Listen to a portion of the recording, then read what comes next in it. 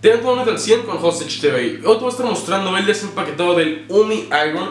Probablemente de los desempaquetados que más me han gustado dado al diseño de la caja, al igual que la experiencia de desempaquetar este producto. Viene con su propia funda, viene con dos fundas, eh, vidrio templado para proteger la pantalla, al igual que tengo entendido que el teléfono ya viene con protección con la pantalla, además de la mica que te estoy diciendo que le pongo. Obviamente esto lo estoy grabando después de grabar el desempaquetado. Y ya sabes, primero lo tengo que probar unos cuantos días para brindarte mi opinión honesta sobre este producto. Los enlaces como siempre van a estar en la descripción para que veas y compres el producto. Van a estar también en PandaWheel, va a estar el enlace al igual que de umidigi.com para que veas y veas las especificaciones del producto.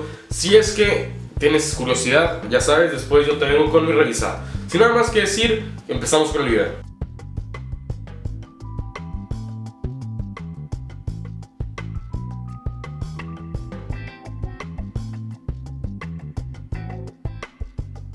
Y bueno amigos, pues empezamos con el desempaquetado, nos estamos topando con tres hermosas cajas, digo hermosas cajas porque cuentan con un diseño bastante bonito, no creo que la luz, eh, bueno ustedes aquí más o menos pueden ver cómo funciona esto, vamos a ver tantito la cámara y voy a tener un poco de acercamiento. Y también contamos con una mica las famosas 9H Magic Glass, en este caso obviamente es para este dispositivo, no la vas a tener que cortar ni nada, algo que me encanta, eh, la mica venía bien protegida, Tomando en cuenta que bueno, se abolló la caja. Esperemos que eso no sea problema. Vamos a abrir primero que nada la mica. Se desliza así.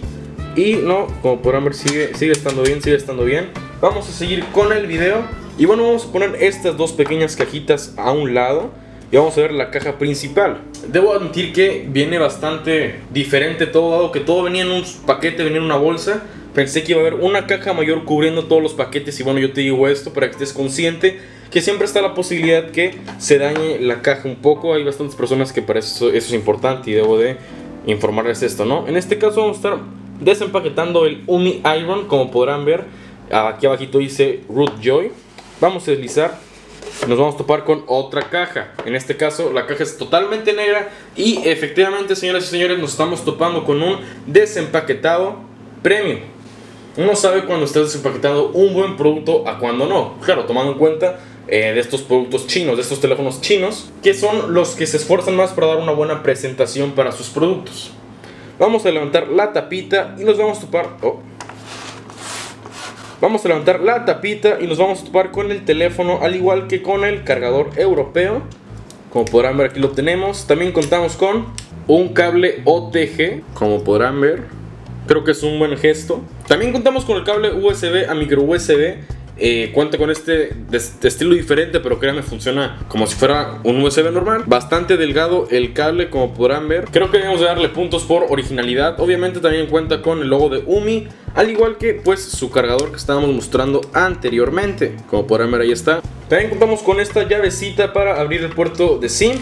Y por supuesto aquí contamos con el teléfono que vendría siendo el Umi Iron. Primero que nada lo siento bastante macizo. Lo que voy es que los materiales sin duda te dan la sensación premium que todos esperamos en nuestros dispositivos. Pero de igual manera lo siento con un muy buen agarre. Por la parte izquierda del teléfono contamos con el botón de bloqueo, volúmenes al igual que unos tornillos.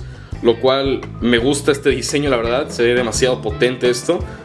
Por la parte de abajo contamos con micro USB. Parte derecha nuevamente contamos con uno que otro tornillo y el puerto para el SIM. Más arriba el jack. Parte de enfrente contamos con cámara, contamos con una luz, al igual que el sensor para detectar el ojo, lo cual vamos a estar analizando obviamente más a fondo en el revisado. Parte de atrás contamos con cámara principal, doble flash. Parte de atrás contamos con la cámara principal, el flash, micrófono y el logo de UMI. Mi parte favorita de algún producto nuevo, desprender la mica también desprendemos la mica de atrás y así es como quedaría. Bastante macizo el teléfono, la verdad. Me encantó el material. Me da la impresión a un HTC, debo de admitirlo, pero sin duda el estilo que tiene en los bordes es definitivamente único, como podrán ver aquí.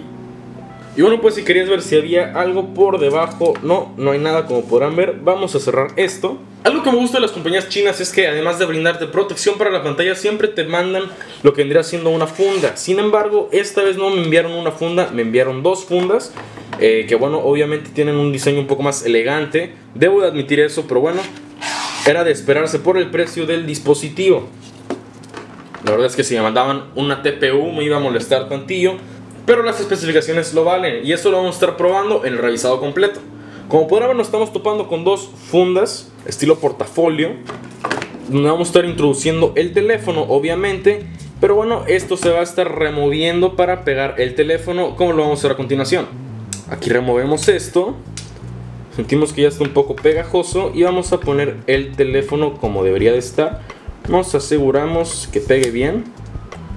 Nos guiamos aquí con la cámara.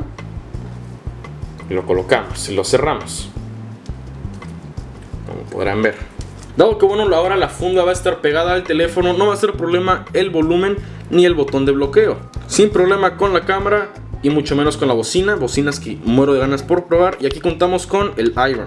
Ahora prendamos el dispositivo por primera vez, esperemos que tenga pila, que al parecer sí la tiene. Y bueno, por fin después de bastante tiempo prendió el dispositivo, te puedo decir que duró aproximadamente unos 7 a 10 minutos con el inicio de Android. Y bueno, una vez prendido, la primera impresión que nos da es que ya cuenta con Android Lollipop, por lo tanto, estoy listo por usarlo. Y bueno, vamos a realizar una pequeña prueba con la funda, dado que la funda está pegada. Vamos a asegurarnos que no se vaya a caer el dispositivo. Al parecer no, todo se ve en orden. Sin nada más que decir, ya sabes que yo soy José Ramos, del canal José TV. Con esto me despido y te das un excelente día. Gracias.